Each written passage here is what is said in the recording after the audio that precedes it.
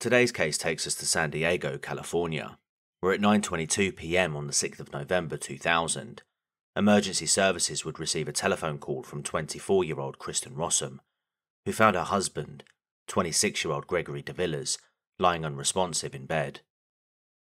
Kristin would be talked through CPR while she waited for an ambulance to arrive, but it would be to no avail. Upon taking Greg to hospital, he'd be pronounced dead around an hour later. What was initially portrayed as Greg tragically taking his own life quickly turned into something far more sinister, involving lies, infidelity, and murder. Hello, and welcome to the channel.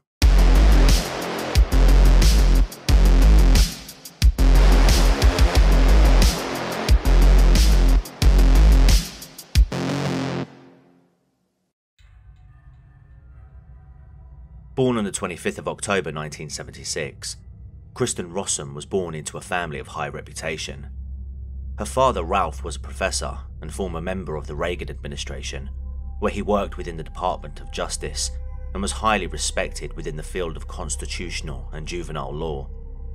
Her mother, Constance, was a former high power advertisement executive. Given their status, it was only natural that Ralph and his wife Constance would impose high expectations upon their children. Kristin, being the eldest of three, perhaps felt this more than others. In a bid to get her daughter to stand out from the rest, Constance introduced Kristin to modelling and ballet from a young age. Kristin was particularly talented in regard to the latter, performing in several stage productions and even ousting a professional ballet dancer from their role in the Nutcracker.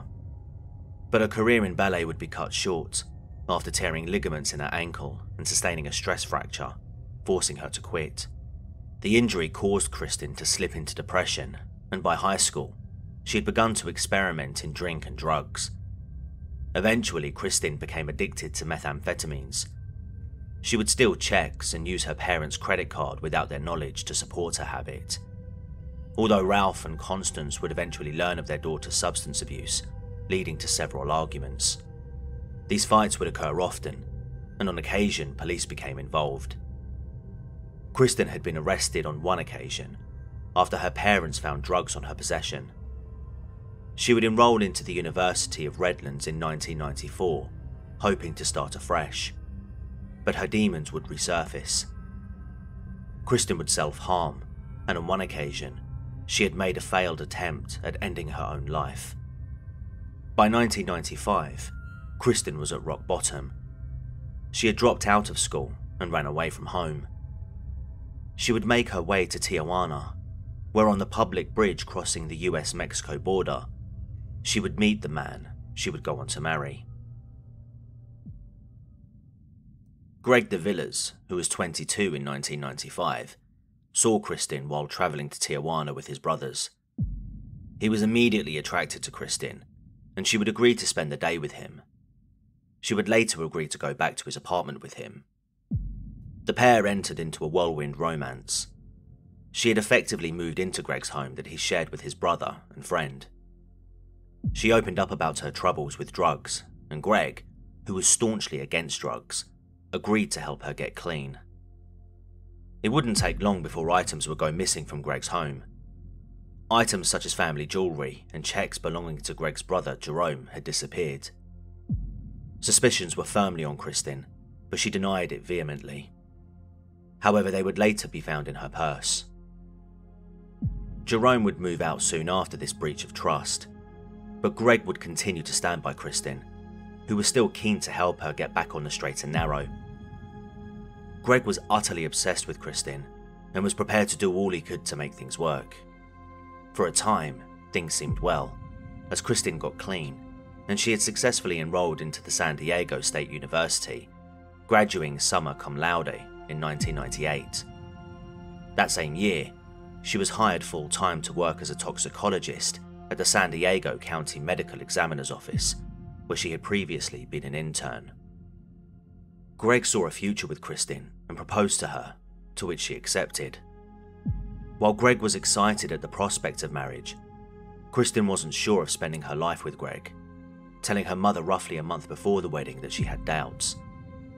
Her mother simply put this down to nerves and convinced her to press ahead with the wedding.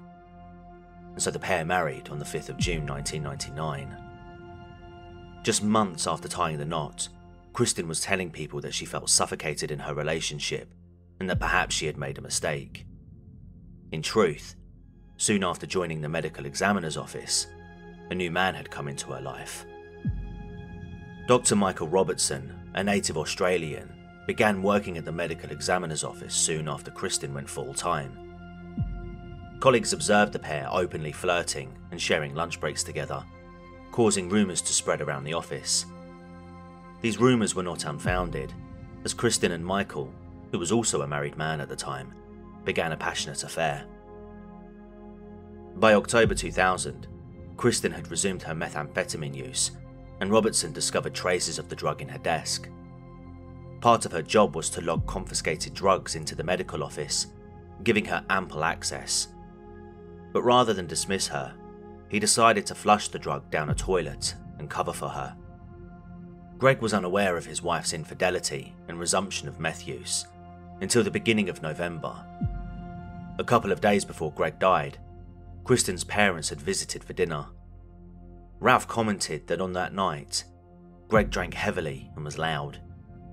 He also obsessed over roses that he bought for Kristin's birthday a few days earlier, commenting that all but one of the roses had shed its petals.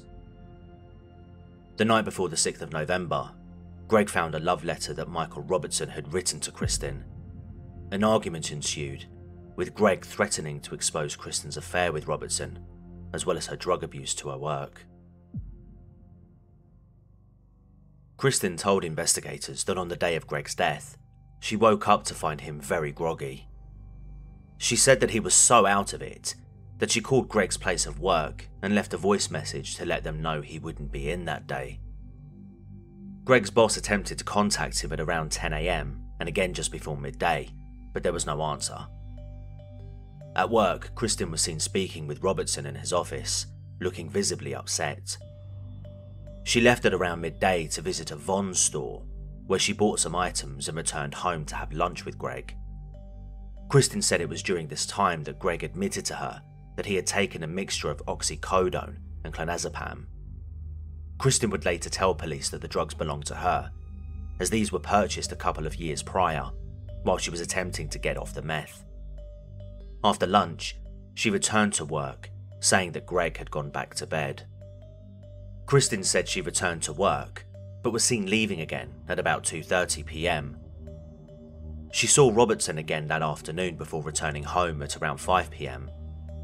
An hour and a half later, Kristin left home again to run some errands before returning back between 8 and 8:30 p.m. She would then take what she called a long bath, kissing a sleeping Greg on the forehead. Afterwards, she got into bed, and it was at this point that she noticed that Greg was cold to the touch. When paramedics arrived, they found Greg de Villers on the floor with rose petals all around his body, with a wedding photo on a pillow and pages from Kristin's diary, which revealed her plans to leave him. Rossum briefly told paramedics that Greg hadn't taken any drugs, but quickly changed her tune, telling them, the police and the hospital, that he had consumed oxycodone and clonazepam.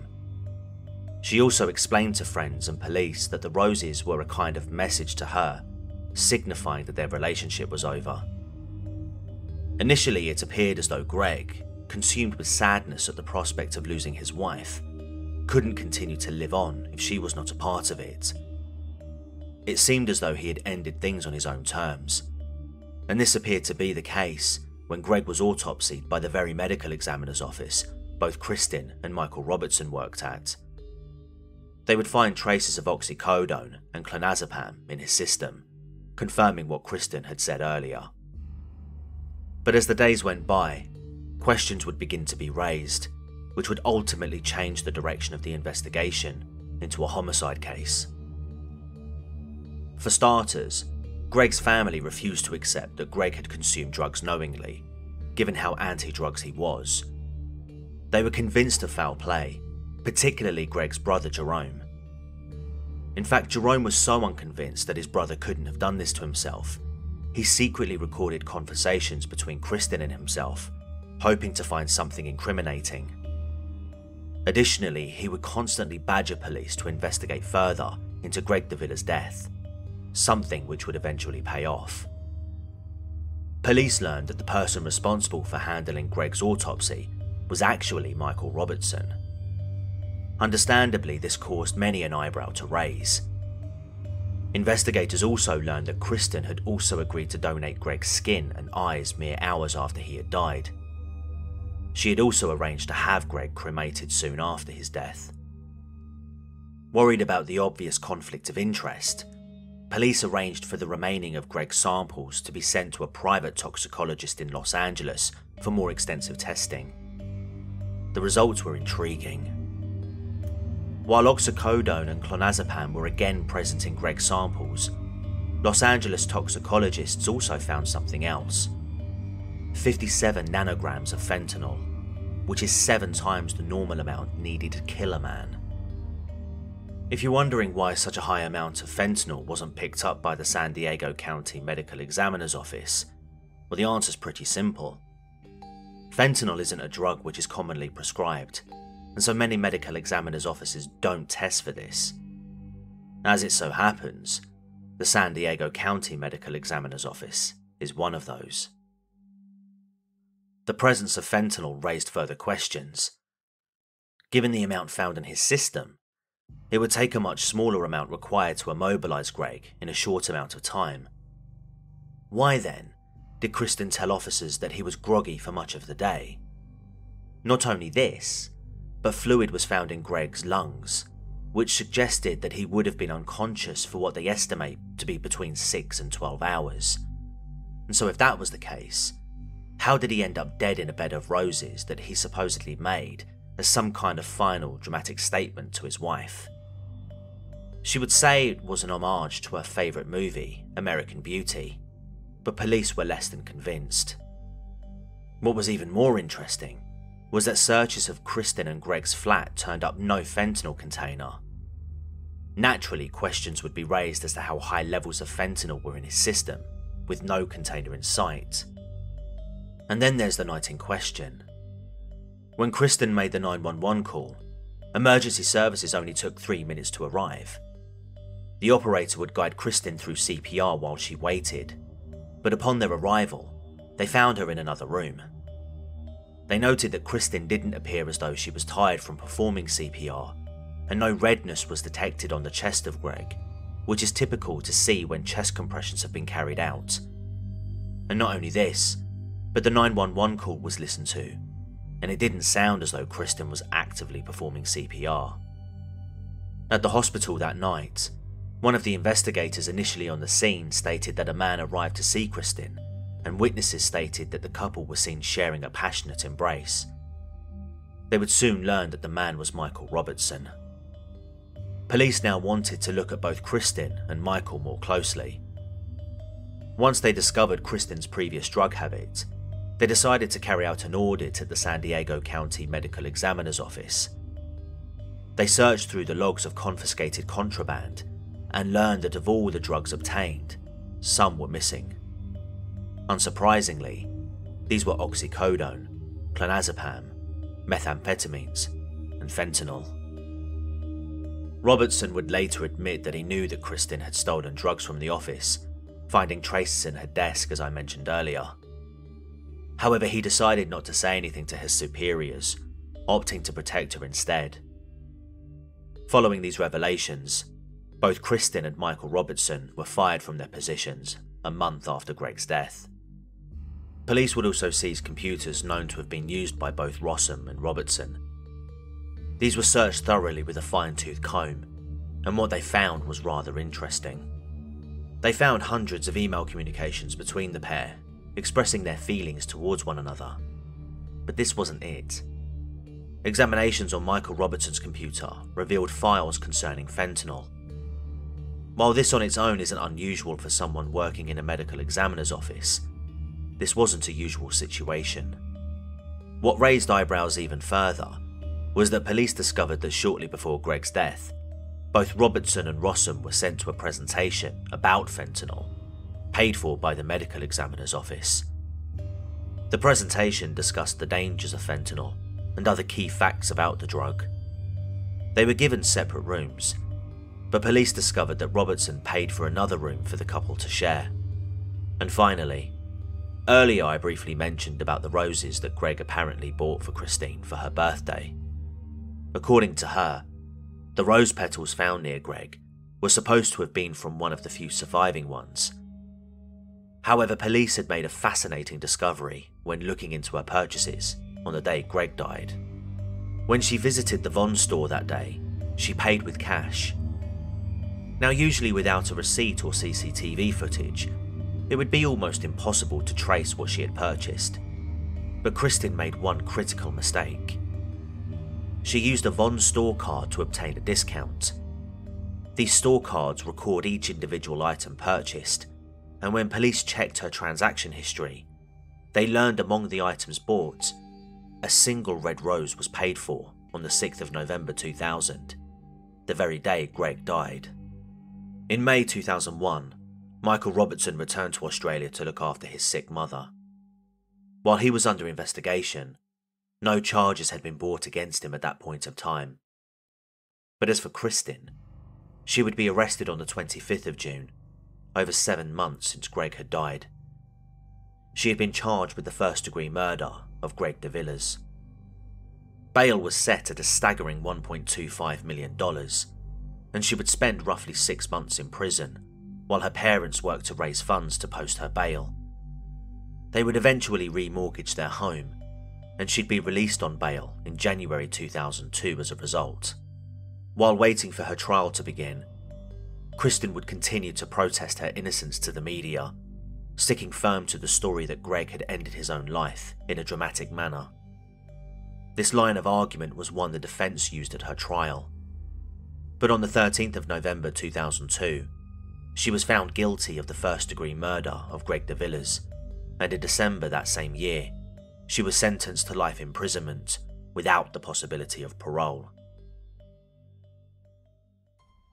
after Michael Robertson returned to Australia to look after his dying mother in 2001.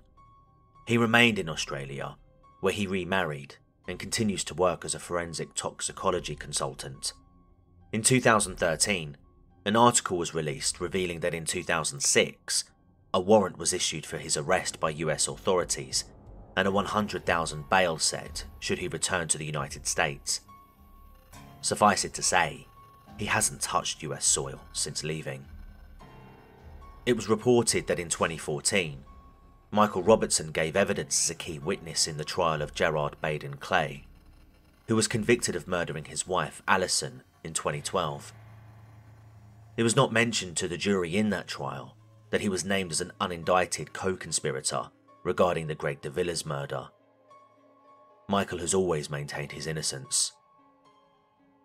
As for Kristin, the de Villers family would sue her for wrongful death in 2006 and be awarded $100 million, although this would later be reduced down to $10 million, plus a $4.5 million compensatory award, which was unchanged from the original decision. The San Diego Medical Examiner's Office were also told to pay $1.5 million to the de Villers family. Kristin made numerous attempts to appeal her conviction, and in 2010, a three judge panel of the Ninth Circuit Court of Appeals ruled that her defence should have challenged the forensic tests carried out by the prosecution by requesting that they carry out their own, which they failed to do.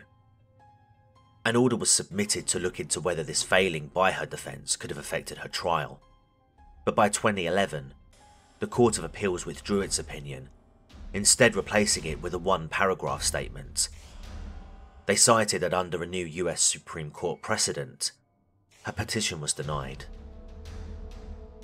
To this day, Kristin resides at the Central California Women's Facility in Chowchilla.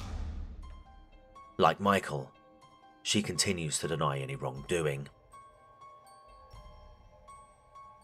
Thank you for watching.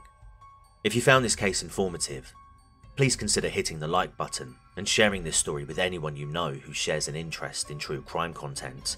If you want to support what I do further, you can subscribe to the channel and hit the notification bell so you never miss an upload. You may also wish to consider supporting me on Patreon or by becoming a channel member, where you'll receive exclusive content and shoutouts at the end of each video. Speaking of which, a special thank you to my current channel members Needlam Fur, The Alabastard, Mr. Gently Benevolent, Amanda, and Krista Lands. Thank you for supporting the channel. Until next time, take care and goodbye. For now.